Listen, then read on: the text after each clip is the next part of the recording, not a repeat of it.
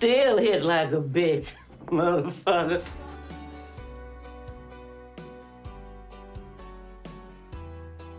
Okay, so Equinox, our newest Warframe, the dual aspect Warframe who can switch between both day form and night form. The day aspect is a damage dealing support frame that can give a nice buff to you and your squad mates power strength, as well as increasing the damage on specific enemies with a rage debuff and a night aspect for a support healing frame that can reduce incoming damage for you and your squad mates, as well as putting targets to sleep and having a nice squad heal for whenever things get a little bit nasty. It all sounds a bit complicated, but in truth it's really, really not. Now your energy colour will determine which form you start each mission in. Dark colours of course for night form and bright colours of course for the day form. But if you want, you can easily switch between these two forms depending on your situation in the mission. If you're low on health, then switching to the night form and casting Mend will help you top off your team's health in one or two kills. It is very effective. Or if you want to stun enemies and make them bleed a little, then switching to the day aspect and popping on Equinox's main ability will have enemies staggered while they take bleed damage allowing you to kill them with ease. Now to build Equinox you will need to farm more than a little bit. There are a lot of parts required to build this warframe. Both the day and the night aspects of the frame are both needed to complete the build. So that's a day helmet and a night helmet, a day chassis and a night chassis, a day systems and a night systems, as well as the blueprints, former Orokin cells, about 175,000 credits. Three days to build each aspect and three day build for the final build as well. So you're going to have a little bit of a wait if you're looking to get your hands on Equinox unless you fancy rushing everything or just buying Equinox with platinum which will cost you about 325 platinum. And of course to get each of these components you are going to need to kill Tyl Regor several times over. First Chroma and now Equinox, the build requirements for the newest frames seem to be getting a little bit bigger and with each of these the grind is increasing as well. And I guess with RNG then building Equinox and Chroma can be a little bit of a pain in the arse. Unless you've been really lucky and you're already building it then in that case in a few days you're going to have your very own Equinox.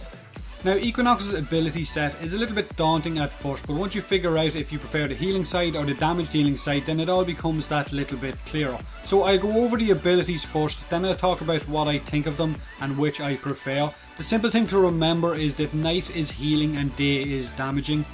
And Equinox's first ability is called Metamorphosis and this will allow you to switch between both your day and your night aspects and it gives you a different ability set for each aspect you're in. It will also give you a temporary buff to shields and armor if you're in the night form and a buff to speed and damage if you're in the day form. Now the second ability is called Rest and Rage Rest for when you're in the night form will put an enemy to sleep, opening them up to finisher attacks, and in the day form, Rage will increase the damage the target takes and increase its movement speed as well. Now Equinox's third ability is called Pacify and Provoke, and this is Equinox's aura ability or buff ability depending on which aspect you're in. In the night aspect it's an energy draining ability so Equinox will cast an aura that will reduce incoming damage from enemies inside its radius. The damage reduction will increase depending on how close enemies are to Equinox and for every enemy inside the aura's radius the energy drain on Equinox will be increased. So more enemies inside the aura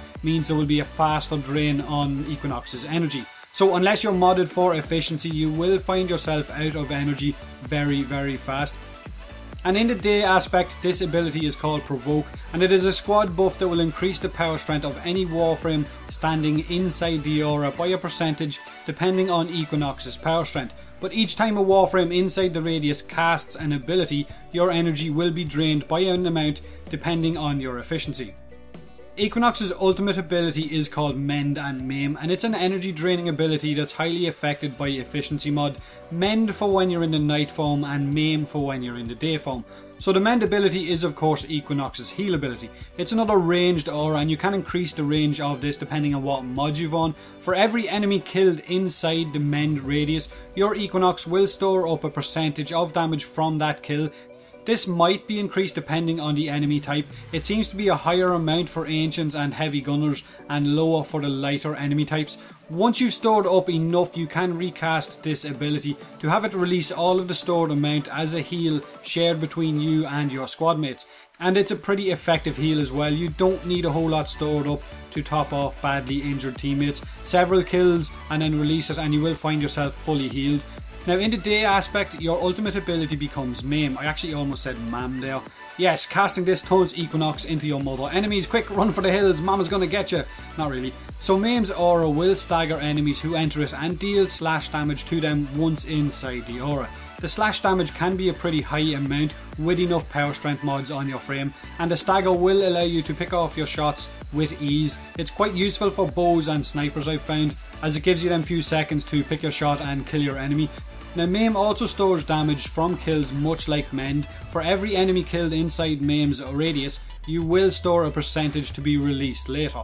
But releasing this stored up amount will have a much different outcome. Releasing all of the stored up amount will cast a wave of slash damage, hitting all enemies inside the radius. Now this damage dealt will of course depend on how much you have stored up and how much power strength you have on your frame as well. I think I've seen my total amount stored up reach a little over 61,000 before it reset back down to zero. Now I'm not sure if this is a bug that it resets or if that is actually the limit that it can get to. So remember to release it before it resets. And with enough power strength, this can pretty much wipe out a very large group of enemies. Now Equinox also has a passive ability that works the same as the Equilibrium mod, only on a much much smaller scale. For every energy globe picked up you will gain 2.5 health and for every health globe picked up you will gain 2.5 energy. It's not that much but hey every little helps so I won't be complaining. If you can get a little bit of health when you need it then that's the easy way to do it. Also, if you switch forms, then any amount you have stored up for your ultimate, it will be lost. So if you've gone and stored 40,000 for the mend ability and then you switch to the day aspect for maim, then you will lose that 40,000 that you had stored and you will need to kind of build it up again. So you can't just switch from ability to ability and keep what you had stored up. That might be a little bit too overpowered. So what do I think of Equinox and its abilities? I'll be honest, I didn't think I'd enjoy this frame. Switching forms just felt like it would be a little bit too much of a hassle and switching between all of the different abilities, but it's actually a lot of fun. Whichever form you prefer is entirely up to you, but me personally I'm loving the day form. It just feels like it works better for my playstyle. I love the slash damage and I love the fact that I can release all of those kills and wipe out a large group. Plus giving my squad a power strength increase on defense missions and that is really really nice. These are outside of your pacify's radius so they won't be dealing less damage to you until they step inside that radius and if there's too many enemies inside pacify's radius then the energy drain does start to pick up a lot faster and you will find yourself out of energy relatively quick unless you've got a decent amount of efficiency. Whereas with the day form provoke won't drain any of your energy. That's the, the buff to your power strength. And you can have a constant power strength buff on for you and your squad. I think mine is sitting at around 45% or 50% in my day build at the minute.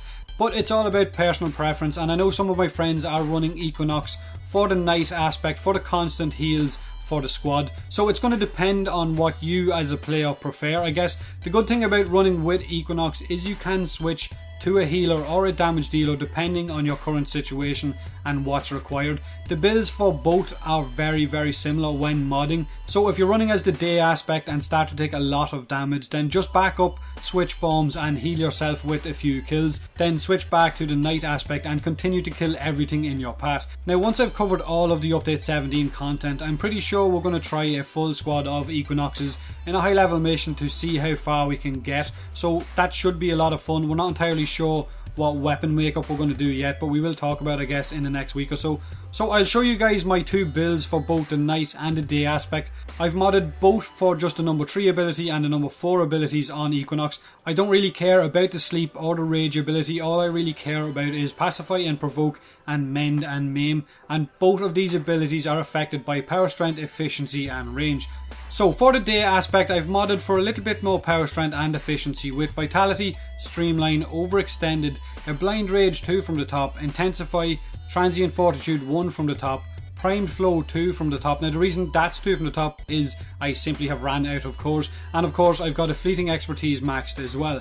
Now the Mobilize Utility mod I have on at the minute was just to check it out to see how much higher I could jump with it but you could easily equip a handspring or a rush or any of the new combination mods that have been uh, released in the game since update 17.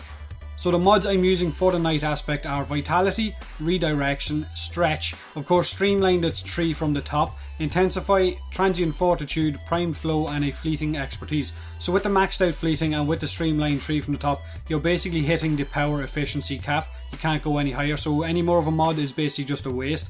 So with this, basically your efficiency for both our number 3 ability and number 4 ability are at the maximum, so it allows your energy to drain at the lowest amount possible. And honestly, Equinox is a very, very fun frame. It's going to be fun to see what kind of combinations other players can come up with. Let me know in the comment section below if you're liking the look of Equinox or if you're not. Hit that like button if you enjoyed the video, subscribe for more Warframe, and as always, thanks very much for watching.